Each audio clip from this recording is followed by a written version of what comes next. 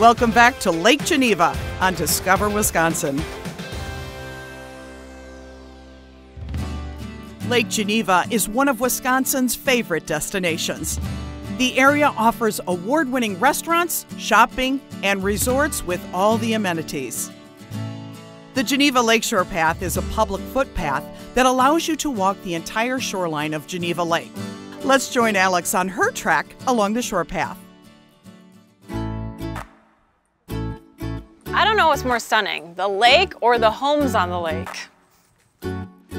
I think it's the homes.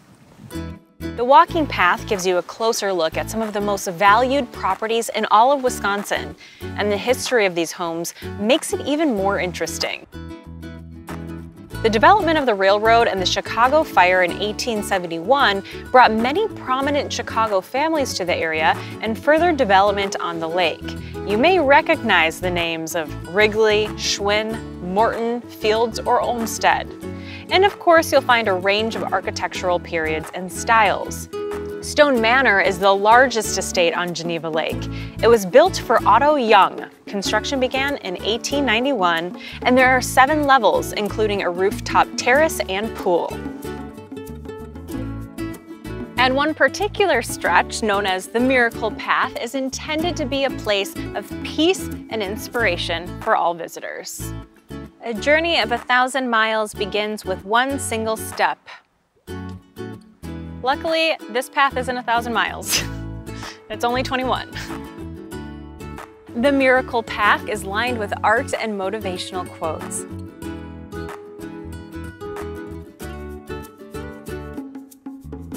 Walkers are encouraged to sign a guest book sharing a miracle they're hoping for, a prayer request, or a simple thank you.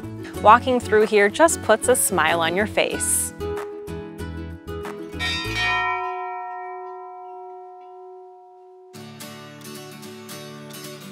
Another fun and unusual land experience in the area is Safari Lake Geneva, perfect for families and animal lovers. You are so cute.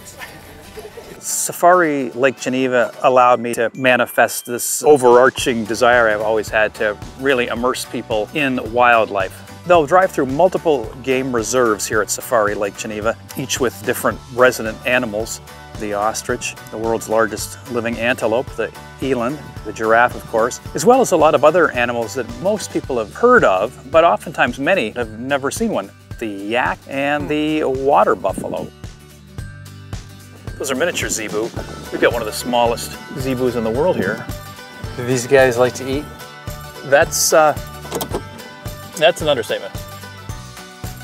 Folks purchase special grain made just to our specifications. You can feed the giraffes at Safari Lake Geneva from a uh, standing position right near our baby Boma Animal Nursery where they can get up and close to a variety of new babies and expectant mothers. Are there animals here that are threatened? There are the scimitar horned oryx, an antelope from northern Africa, classified as extinct in the wild, even though efforts are underway to reintroduce them. The addax, an antelope from northern Africa that is considered critically endangered.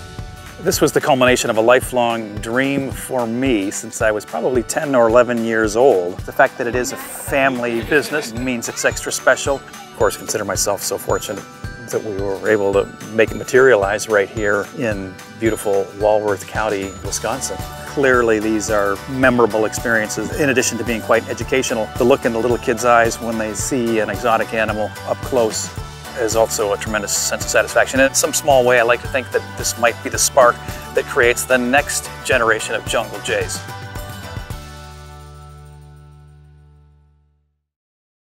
Want to learn more about our favorite places to visit in Wisconsin? Subscribe to Discover Wisconsin's official podcast, The Cabin. Find out where Chicago gangsters used to get away when we return.